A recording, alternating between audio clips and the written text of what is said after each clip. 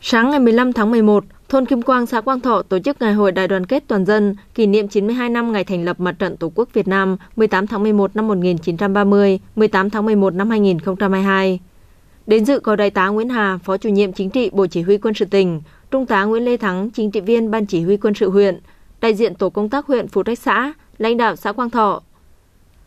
Trong không khí vui tươi của ngày hội, các đại biểu đã được thưởng thức nhiều tiết mục đặc sắc của bà con nhân dân trong thôn, cùng nhau ôn lại truyền thống 92 năm ngày thành lập Mặt trận Tổ quốc Việt Nam.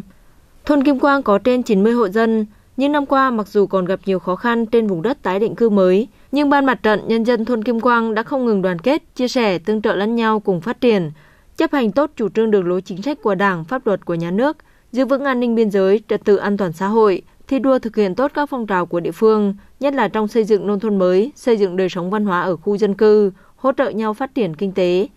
Nhân dân trong thôn đã tham gia hàng trăm ngày công làm giao thông nông thôn, trồng chăm sóc hàng rào xanh, bồn hoa cây cảnh trên các tuyến đường và nhà văn hóa thôn, chỉnh trang vườn hộ nhà ở. Nhờ vậy, thôn giữ vững khu dân cư kiểu mẫu cấp tỉnh, đời sống nhân dân được nâng lên, các hủ tục lạc hậu được bài bỏ, đời sống kinh tế tinh thần ngày một được nâng lên, 100% con em đến trường đúng độ tuổi, hàng năm có 90% hồ đạt gia đình văn hóa, 30% hồ đạt gia đình thể thao.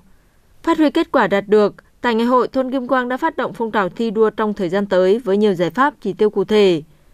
Tại ngày hội, lãnh đạo Bộ Chỉ huy quân sự tỉnh, Ban Chỉ huy quân sự huyện, Tổ công tác huyện, lãnh đạo xã Quang Thọ đã biểu dương ghi nhận, tặng hoa chúc mừng thôn về những thành quả đạt được – xã Quang Thọ trao chứng nhận gia đình văn hóa tiêu biểu 3 năm liền cho 3 hộ dân.